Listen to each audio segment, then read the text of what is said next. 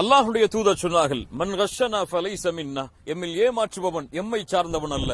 April fool இது முஸ்லிம்களின் கலாச்சாரம் அல்ல காபிர்களின் கலாச்சாரம். யார் பிரமத கலாச்சாரங்களை பின்பற்றுகிறார்களோ அவர்கள் அவர்களை சார்ந்தவர்கள்தான்.